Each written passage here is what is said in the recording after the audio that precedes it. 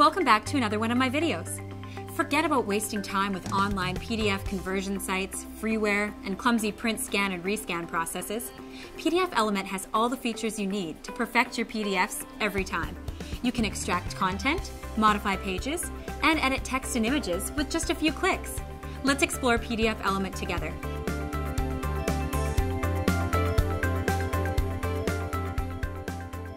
In this video, I will be showing you how you can delete text in your PDF files using PDF Element on Windows.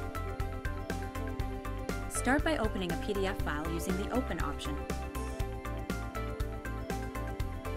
Click the Edit Text icon found in the Edit tab and choose between line and paragraph for your editing mode.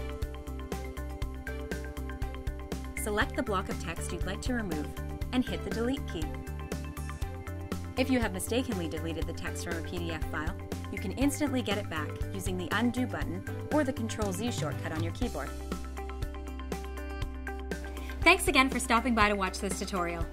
Watch my other videos to find out even more ways that PDF Element can help you create perfect PDFs. If you liked this video, hit the like button and subscribe to my channel.